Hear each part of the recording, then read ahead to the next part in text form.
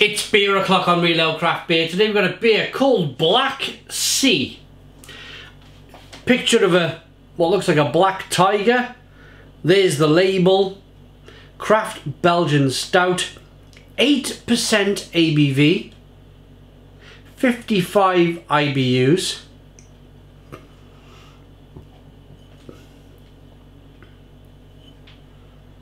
Here you go.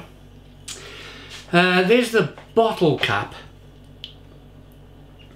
There's a description on the label, on the back of the label here, which I'll read in a moment. But there's not too much. All in terms of, I, I like to know who the brewery is, but all they put here is Brasserie C in brackets. Take a look. I'm just wondering who these people are. There you go. Right where my finger is. Brasserie C. That's the only description. The, who calls themselves Brewery C? Let's get the beer out into a glass, see what we get. C on the bottle cap. Black C on the label. All a bit odd. Let's get the beer out. Nice bit of smoke on the bottle opening. Beer in the glass then. Yo. Have a look at the liquid in the neck of the bottle being poured out. It looks very light. It looks like a mild, an imperial mild. If you're not from the UK and you don't know what a mild is, a mild is like you tripped over on the bottle cap. A mild is something very light. It's dark, but you can see the light bleeding through the glass. Have a look at this. You can see the light. Look at that.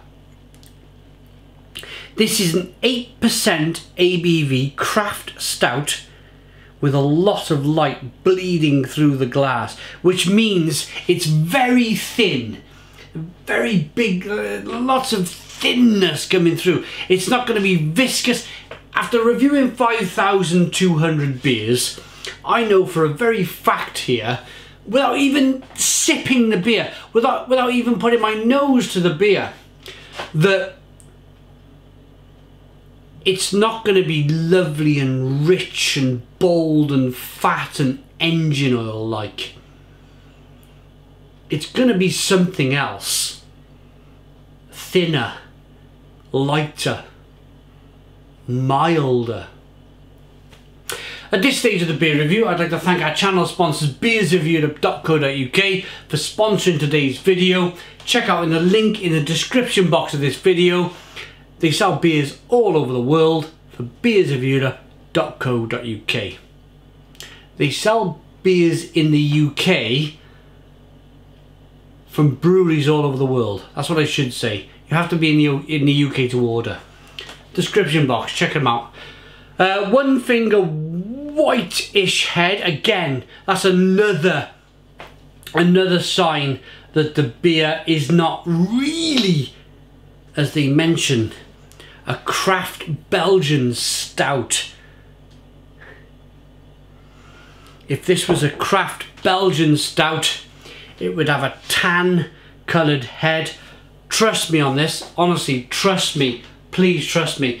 Um, it wouldn't have as much carbonation that it has rolling up the side of the glass and really it wouldn't be so light there would be no light rushing through the glass. Let's see that amber coloured light there at the bottom of the glass. That really won't be throwing, shining through. I've been a bit brutal up until now. But I've been in the industry a long time. And I know... I know when I'm having the wool pulled over my eyes. Let's dive in. Aroma.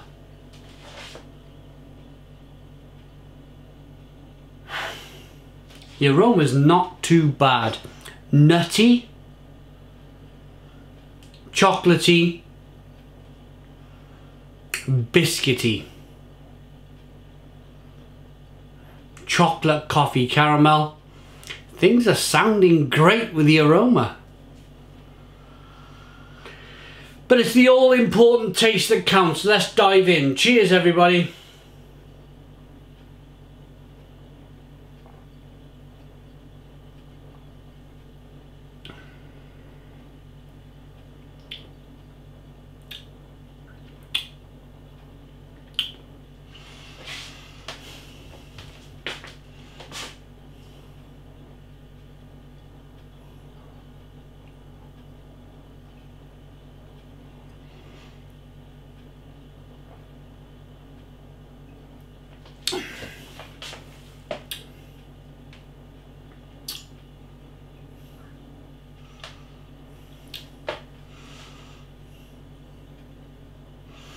It's not bad. It's not bad. It's not bad at all. Um, this is me turning about face and admitting that all of my knowledge on beer has been blown away. You guys have drunk as much beer that, that I've drunk honestly, if you're watching this video right now, if you've been following the channel for years, you've been drinking as much beer as, as, as I've had. And when you pour an Imperial Stout at 8% ABV, you normally, normally get a tan coloured head. Look at the head. It's more or less white. You normally get a big, thick, bold, thick dark black engine oil stout in the glass.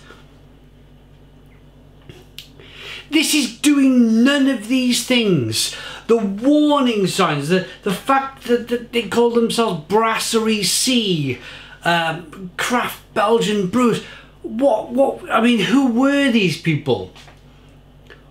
But, but, apart from all that, the beer's actually pretty good. Pretty good. It would be very easy for me at this stage to go, it's not a tan coloured head, it's not thick and bold and fat, I'm going to completely poo-poo this beer. But I don't mind, I, am an honest guy, I'm a really, uh, uh, I'm as honest as I can possibly be on this channel. It's an about face, it really is an about face, it's me going, it's okay. It's good.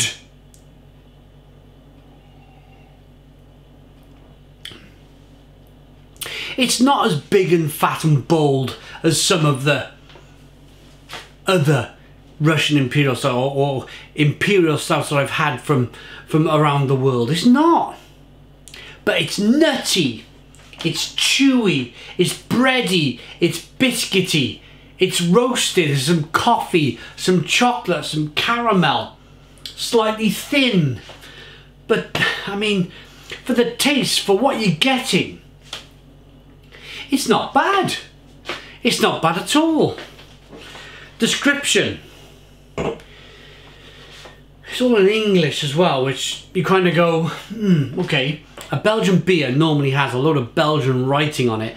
Uh, the language, a lot of Belgian language, a lot of French language. This is English, so you're like, whoa, what's going on here? So, craft Belgian stout, strong and smooth at the same time. Black C offers roasted aromas of coffee and cocoa while revealing a balanced bitterness brought by North American hops. Black C takes its complexity and originality from its malted composition. The Belgian yeast gives to this stout a unique identity. There's the description. Give it a read. Pause the video right now. Give it a read.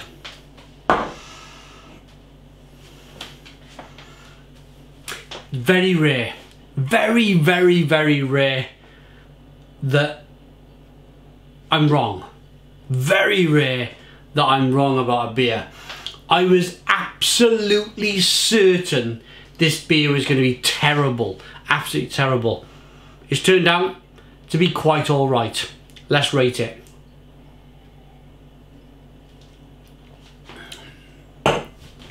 I like that enough to give it a...